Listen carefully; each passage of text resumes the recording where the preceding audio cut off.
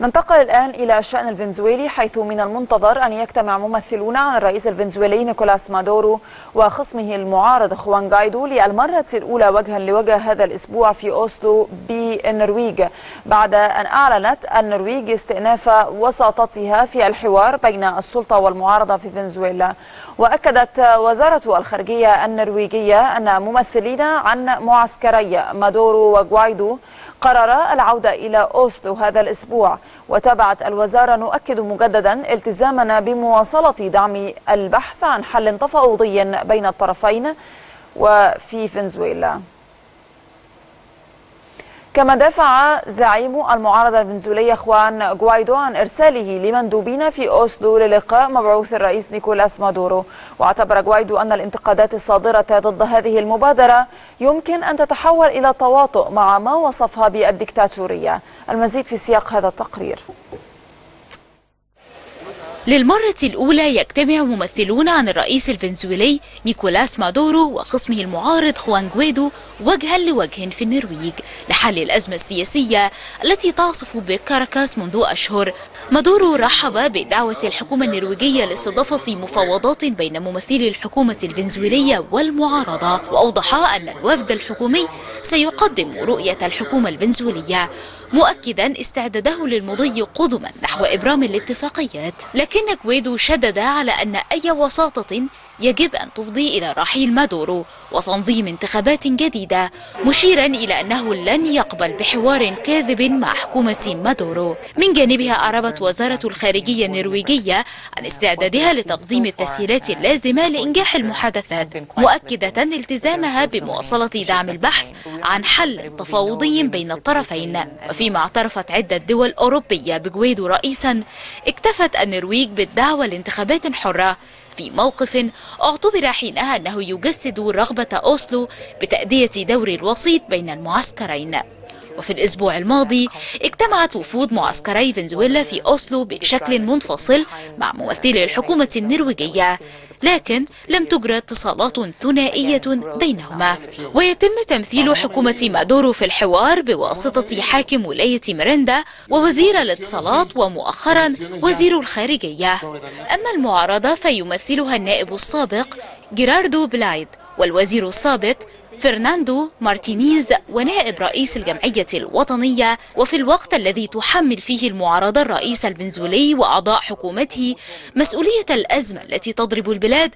يوجه مادورو أصابع الاتهام إلى واشنطن التي فرضت عقوبات استهدفت الحكومة وكبار المسؤولين في البلاد.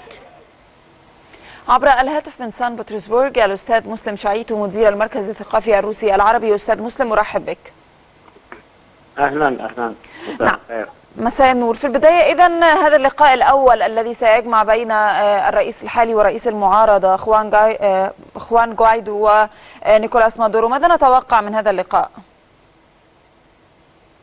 يعني أولا هو اللقاء لن يكون مباشرة بين نعم عبر ممثلين. لكنه عبر ممثلين وهذا فرضته مجموعة اعتبارات في فنزويلا. بتغيير موازين القوى حيث كانت تراهن الولايات المتحدة وسعد عبر مجموعاتها للقيام بأعمال مخالفة للقانون وككلاب عسكري أو مظاهرات ودعم من بعض الدول لمرشحها أو بالأحرى رئيس البرلمان.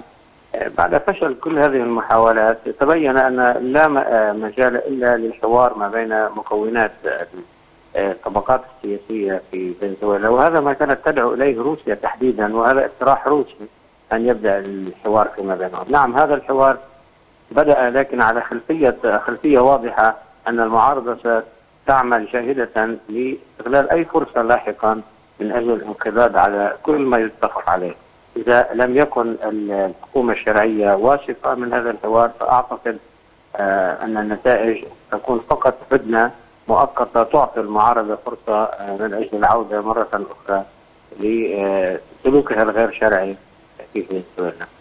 نعم إذا أي مدى نجحت النرويج في لعب دور الوساطة بين الجانبين أستاذ مسلم؟ يعني النرويج هي كانت المنفذ للجو العام الدولي خاصة بعد الاتصالات التي تمت بين روسيا والولايات المتحدة يعني بين الرئيسين الرئيس بوتين والرئيس ترامب وبحث كل المسائل بما فيها فنزويلا بالإضافة كما قلت لمتغيرات سياسية آه، في فنزويلا هذه ما أنتجت كانت السويد هي المنفذ لهذه الرغبات ولهذا الجو العام وتلعب دورا محايدا وتثق بها الأطراف المعنية في فنزويلا ولذلك تم اللقاء في اوسلو. نعم إلى أين تتجه الأمور أيضا في فنزويلا من وجهة نظرك أستاذ مسلم؟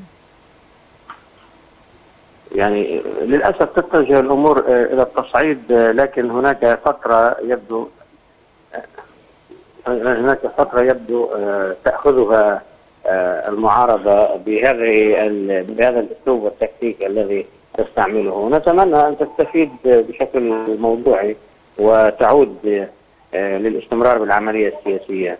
ف يعني هذا ترفضه أيضا قدرة الحكومة الشرعية على بيان أن آه، هذا الاسم من التعاطي آه، لن يؤدي إلى نتيجه ونعتقد على السلطة الشرعية أن تقدم آه، الكثير من التنازلات السياسية للشعب الفنزويلي وتتخلص من الكثير من المشاكل التي تستعملها المعارضة.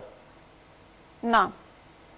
أستاذ مسلم أيضا يعني دعني أتحدث معك عن ستكون فرصة كما قلت للمعارضة. ألو. نعم هل تسمعني بوضوح أستاذ مسلم؟ نعم نعم أسمعك نعم نعم آه، فيما يتعلق بدور المجتمع الدولي لحل هذه الأزمة الكثير من الدول أيضا عرضت الوساطة وعرضت لقاء ممثلين عن آه، آه، رئيس المعارضة والرئيس الفنزويلي كيف ترى الدور الدولي في حل هذه الأزمة؟ يعني الموقف الدولي كان منقسما على خلفيتين، الموقف الأمريكي الذي يدعم الحركات الانقلابية دائما، والموقف الروسي الصيني الذي يتمسك بالمواثيق الدولية والقوانين وسيادة الدول. وتم الانقسام على آه، هذه الخلفية على هذا هذان الاتجاهان. آه، ليس هناك مواقف دولية متمايزه آه، بالنسبة للأزمة ليس فقط في فنزويلا ولكن في كل الدول إن كان في اليمن في سوريا في في ليبيا هناك موقفان كما قلت سابقا انقسمت ال- الآراء الدولية انطلاقا من هذه الخلفية آه، لكن أن يكون هناك مواقف آه، متوسطه معتدلة مستقلة عن هذان الموقفان حتى الآن لا يوجد أبداً. نعم أنا بشكرك شكرا جزيلا كنت ضيفي عبر الهاتف. الأستاذ مسلم شعيت مدير المركز الثقافي الروسي العربي شكرا لك